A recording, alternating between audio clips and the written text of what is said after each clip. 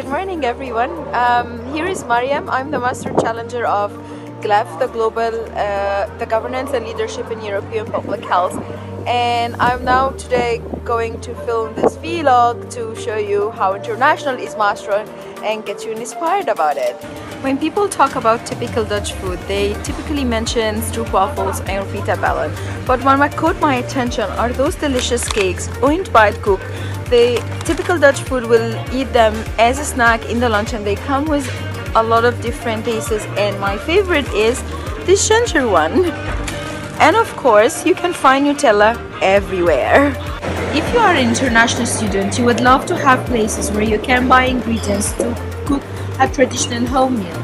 Here in Maastricht, we have an Asian market, a very big one, and also a Turkish shop, which is just here, and which also have a lot of Mediterranean food.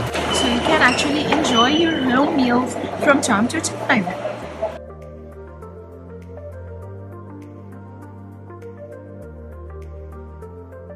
In Maastricht, you can find a lot of international cuisines. This is Bab Toma, the Syrian restaurant.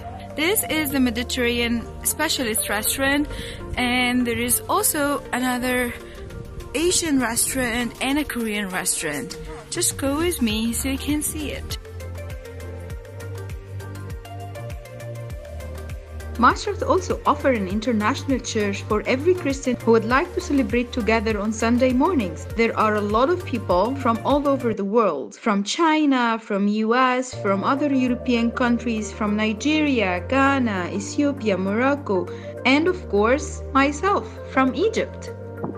When it comes to my favorite places in Maastricht, I have two in mind. One, the bridge which I am on now. It just gives me a wonderful view on the landscape of the whole Maastricht.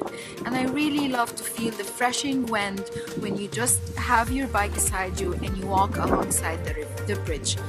On the other side, this bridge also takes me to my second favorite place, which is Centre Céramique. Come with me to see it. This is Centre Céramique, my second favorite place in Maastricht. It is a big library that hosts a lot of cultural events. I come here to study and also have the wonderful coffee you can ever taste in Maastricht.